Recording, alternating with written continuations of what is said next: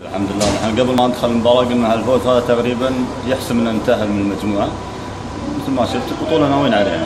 سوينا اجتماع قبل آه، أيام من مباراة سلبة شفنا ان في مجال ننافس على البطولة. نعم.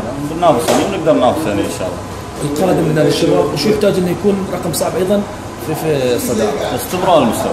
يمكن نعاني من هالشيء لكن إن شاء الله استمرار المستوى غير عن ذيك السنة نتعلم من هذيك السنة وإن شاء الله سنستمر على المستوى اللي إن شاء الله. ابتعادكم على الأضواء هذا يعطيكم مثل ما تكونوا تحت أقل من الضغوطات من من الفرق الأخرى؟